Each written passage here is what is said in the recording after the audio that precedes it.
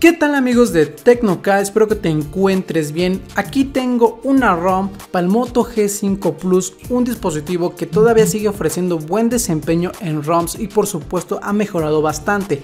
Cabe destacar que la versión que te voy a mostrar para que tú puedas instalar es Android 8.1 y por cierto es completamente estable, funcional y la verdad ofrece excelentes gráficos para juegos de alto rendimiento. Pero vamos a empezar hablando de esta ROM, pero como también antes de eso te quiero invitar a nuestra eh, página de Instagram para que nos sigan aquí. Pueden seguirme si me quieren seguir adelante, como también resolvemos preguntas de lo que siempre este, nos hacen. Estamos contestando día a día. Síganme aquí como Tecnocat Luna para que no se pierdan nada de información y por supuesto contenido extra, al igual manera las fotografías que subimos de los dispositivos. Al igual manera yo te invito que vayas a Facebook, aquí este no es, vamos a Facebook. Y nos busques como Tecnocat, entonces te va a dejar el link en la descripción y le des me gusta, al igual en esta página de Facebook siempre subimos noticias noticias de lo más reciente de tecnología e incluso noticias de eventos y hacemos ahora sí que unas pequeñas encuestas, subimos fotografías y más. Así que yo te recomiendo que me sigas, pero también recuerda activar la campanita para que siempre recibas notificación de nuestro video más reciente.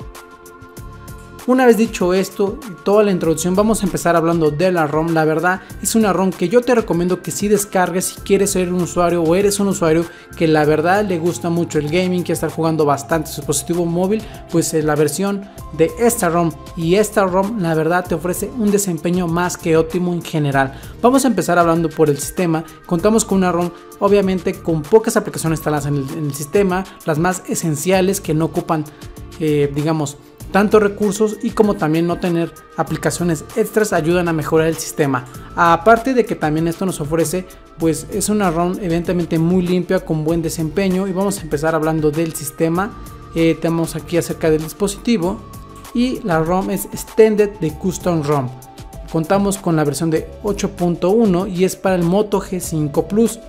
Aquí tenemos la galleta, pero lo interesante de esta ROM es la capacidad de personalizar completamente. Vamos a empezar hablando por ella y vamos directamente al apartado de pantalla que si me quieren preguntar sobre esto yo se los voy a responder ahorita. Aquí en pantalla veremos que dice eh, temas o modos temas y aquí podemos cambiar el tema a black. Va a cambiar el sistema, el sistema UI y vean aquí lo cambio como grisáceo oscuro Vamos a darle el dark, que es muy similar. Vamos a darle el line, transparente o blanco. Mira, aquí está. Y automático, ¿no? Pero también algo interesante es que, por ejemplo, que ese Color Manager, podemos cambiar esos aspectos a través de Ascensión. Y aquí puedo seleccionar el color, vean. Aquí está en azul, verde agua. Vamos a colocar amarillo para que puedan observarlo y así podemos ir modificando nuestra ROM a nuestro gusto, a nuestro antojo. Algo interesante, bastante bueno, vayan a utilizar módulos Exposed, pero también te ofrece la capacidad de cambiar la tipografía. Observen, hay fuentes ya instaladas para cambiar ahora sí la fuente del menú y todo lo que es el texto que existe en el dispositivo.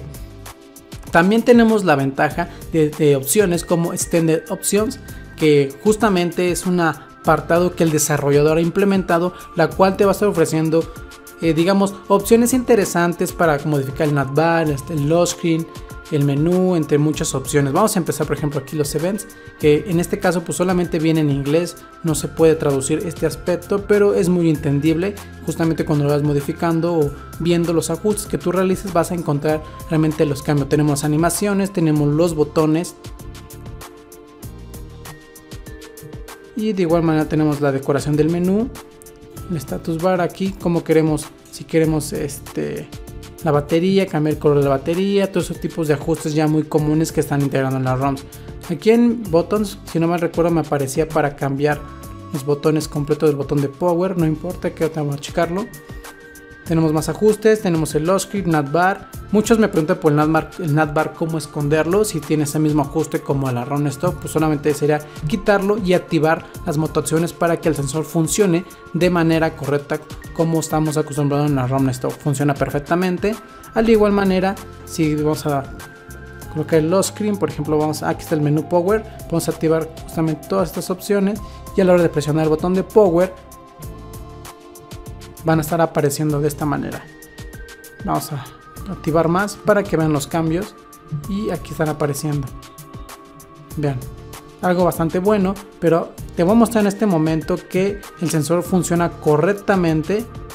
Vamos a dejar aquí el navbar y nos vamos a ir directamente al apartado de moto acciones porque ya está disponible y en otra ROM también está. Vamos a activarlo y aquí veremos el fingerprint modos de uso, tenemos que activarlo y aquí tenemos que activar justamente como lo queramos, un simple toque para bloquear, un doble toque para desbloquear, o sea, ya es a nuestro gusto como hacernos un swipe izquierda derecha para alguna tarea que nosotros queramos o simplemente para menú regresar. Por ejemplo, vamos a colocar apartado single tap y en este caso ponemos el screen off.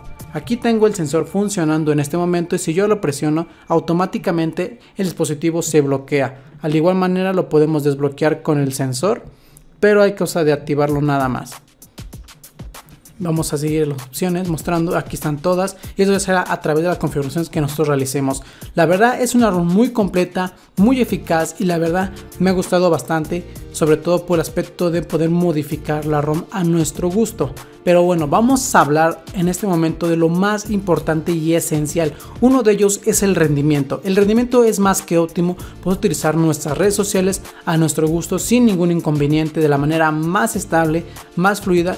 Obviamente que sí va a ser un poquito que el dispositivo, digamos que tarde un poquito más en abrir las aplicaciones, pero solamente tenemos que desactivar ciertas animaciones en el sistema para que el dispositivo nos fluya mucho mejor.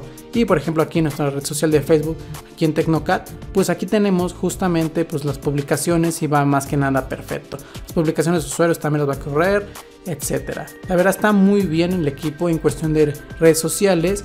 La verdad me está gustando esta ROM y la verdad no la quisiera cambiar, así que yo te recomiendo que la descargues pero también vamos a hablar del aspecto muy importante que es la batería.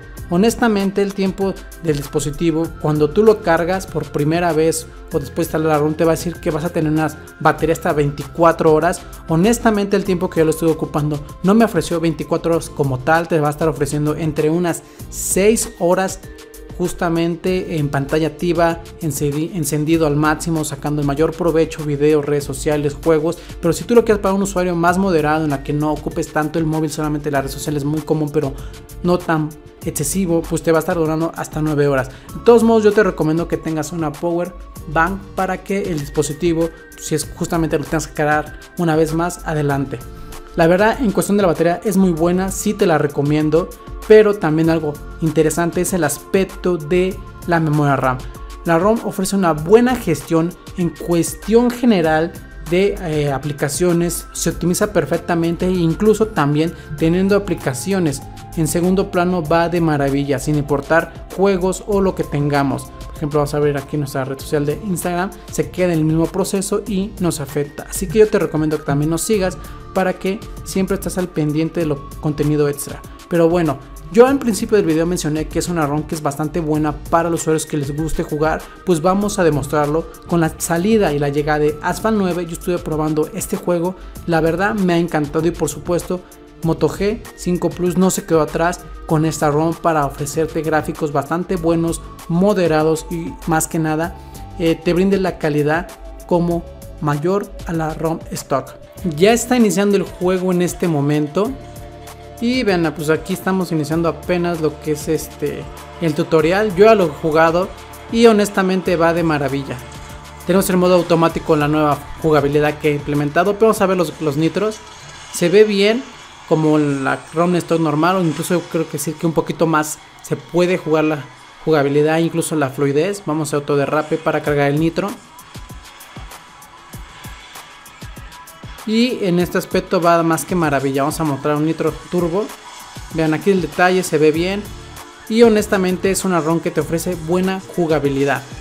En este caso me van a preguntar si se calienta el dispositivo. Honestamente, el tiempo que lo estoy ocupando, me llevé la sorpresa que el móvil no se calienta a la hora de estar jugando en la parte trasera. Creo que es algo bueno e interesante poder tener un dispositivo que no llegue a sufrir este aspecto. Pero bueno, vamos a seguir hablando sobre eh, la ROM y uno de ellos de los puntos más esenciales que estaba fallando en otros ROMs y en otros dispositivos es el aspecto de la cámara. Tenemos aquí la cámara del dispositivo, la que viene por defecto instalada y la verdad este ya funciona para tomar fotografías e incluso para hacer video. Miren, vamos a observarlo.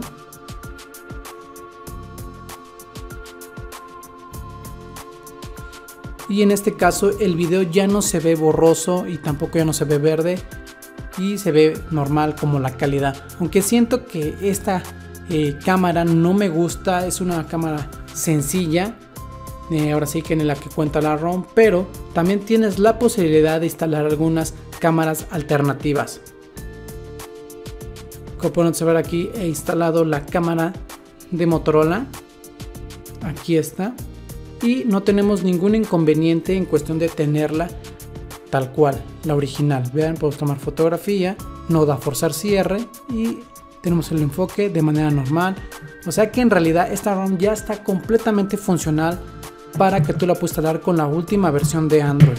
Y honestamente yo te recomiendo que la descargues por si quieres tener una ROM completamente funcional con la última versión de Android 8.1 y sobre todo que te brinde buen desempeño, rendimiento y también lo que es la batería. Así que bueno amigos, este vendrá siendo el review de la ROM. Si quieres instalar la ROM, vamos a hacerlo en este momento para que tú puedas tener esta actualización. Para eso yo te recomiendo tener requisitos necesarios e importantes. El link te lo dejo en la descripción, que es instalar el TWRP, como también tener desbloqueo el bootloader. Para eso ya tienes esos requisitos, ir a nuestra página web tecnocaweb.com a descargar lo que es la ROM junto con las GAPs y pasarlas a la memoria micro SD para instalar la ROM. Ya una vez dicho esto, vamos a apagar el dispositivo y vamos a hacer la instalación. Una vez que hayas cumplido con los requisitos, haber instalado el recuento de los RP, desbloquear el bootloader y pasar los archivos a la memoria micro SD, vamos a hacer la instalación de la ROM. Para eso con la tecla de Power y volumen abajo presionado durante unos 5 segundos entraremos al modo Fastboot. Este es el modo Fastboot en el dispositivo. Para eso tenemos que movernos con la tecla de volumen abajo a la palabra que es Recovery Mode y ahora con Power darle aquí y el dispositivo se va a reiniciar. A ustedes no les va a aparecer esta opción, no se preocupen, esto aparece solamente cuando desbloqueas el bootloader. Yo no he quitado el mensaje, pero se puede quitar, así que no se preocupen. Esperemos a que se reinicie y el dispositivo va a estar entrando en el modo fastboot con el recovery TWRP que ustedes instalaron. Si no saben cómo, el link se los dejo en la descripción de los videos para que hagan el proceso. Ya que el dispositivo ha entrado en el recuadro TWRP, tenemos que dirigirnos a la opción de White. Buscamos White Advanced y nos dirigimos a estas opciones a marcar Dalvinar, System, Data, Internal Storage y Caché.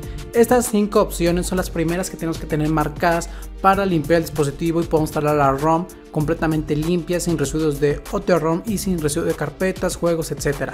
Así que recuerda hacer una copia de seguridad de todo el contenido que tengas en tu dispositivo.